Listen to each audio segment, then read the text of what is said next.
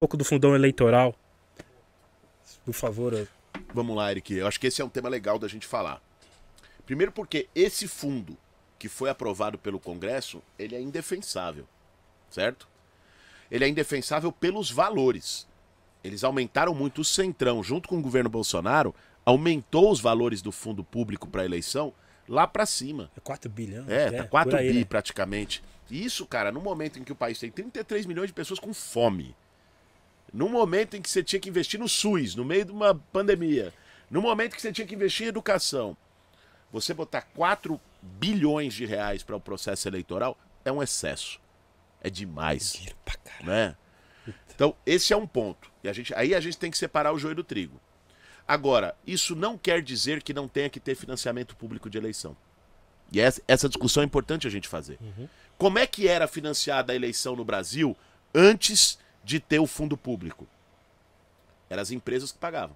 Sim, sim. A Odebrecht ia lá, pagava a campanha de alguém. Beleza, a Odebrecht pagou a tua campanha, Eric. Você ganha. Né? Aí você vai fazer uma licitação. Chega o cara que pagou a tua campanha, que ajudou a te eleger e falou: Eric, tudo bem, facilita aí a licitação para mim, que eu quero ganhar para construir isso, essa estrada aqui. É assim que funcionou historicamente no Brasil, meu irmão. Então, quem pagava a banda escolhia a música. Então, as, as grandes empresas pagavam as campanhas eleitorais e depois chegavam. Na verdade, não era um pagamento, era um investimento, que sim, elas recebiam sim, sim. depois. É, e assim se, se formava a corrupção no Brasil.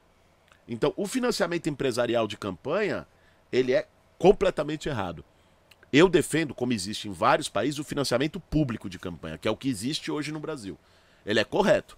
Ele não precisava ter o valor extremo e absurdo que os caras do Congresso e do Centrão botaram.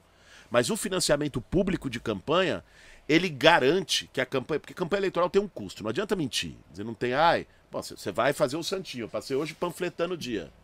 Você vai pagar na gráfica sim, o seu santinho, certo? Sim, sim, sim. Né?